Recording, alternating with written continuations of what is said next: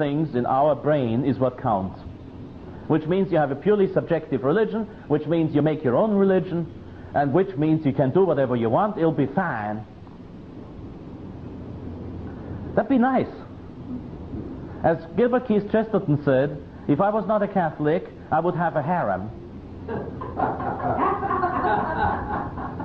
Believe me, I would.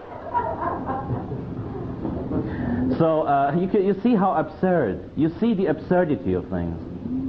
We are living in a Gnostic sect founded by Vatican II, which our dear beloved present Pope calls the Second Pentecost. And I cannot say amen to that. I disagree with him. He's a heretic. I reject his teachings. I do not reject his papacy. I reject what he does in his papacy, and I reject what he says, period. Questions and answers.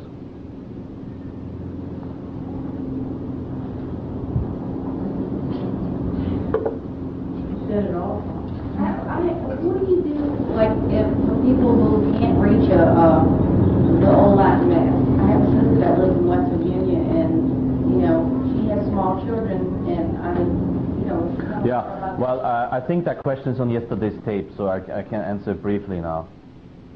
Uh, you must not go to the new Mass, because the new Mass is against the will of the Church, against the will of God, it's against divine law. It is an illegal rite, illicit, it's not only against divine law, it's against eternal law too. Eternal law is first, then divine law as, an, as his own interpretation of his own eternal law, and then uh, positive law, natural law, and then positive law. It's against, it's against positive law pronounced by Pius V, it's against natural law uh, as the tradition of the church, and it's against divine law as the dogma of the Council of Trent, and it's against eternal law therefore. You cannot attend the Novus Ordo Mass unless you have to for social purposes, uh, like you did. And in this case, you do not say Amen because Amen does not mean all right, it's okay. Amen means yes, yes, yes. You can't say yes to the new Mass. The new Mass does not represent the Catholic faith. But uh, yesterday's conference, uh, I can I can give you more information on that later on. But now, as the camera is running.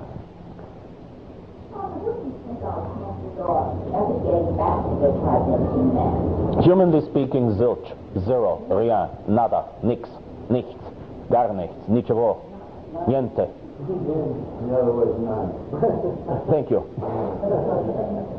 Humanly speaking, I, I, I, God has to work a miracle, but I mean, I don't know if God will, want, will, will work a miracle. He might end the world. I don't know. I don't know. I ain't no prophet.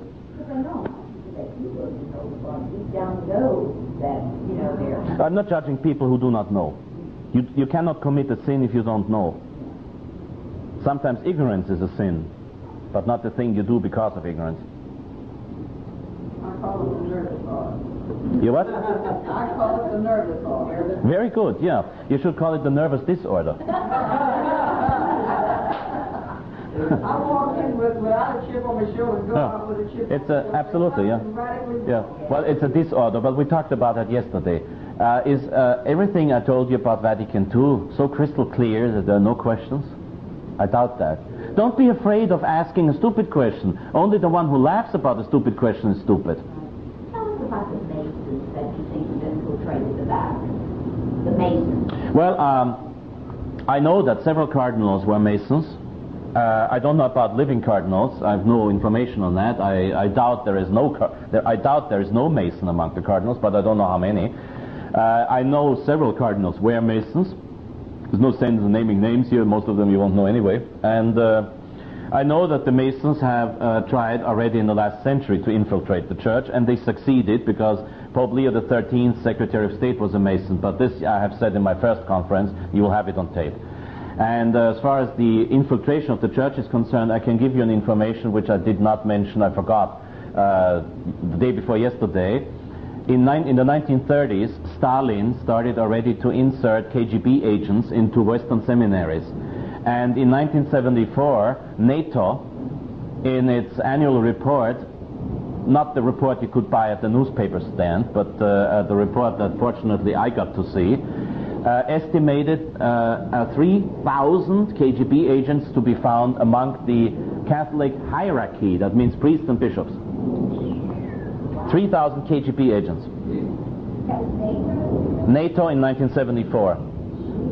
Don't kill me if it was 76, but I think it was 74. Are they in the Vatican? Of course, there are KGB agents in the Vatican. You think the KGB is stupid? The KGB is not the CIA. Christians in action. That's the field term for them. And uh,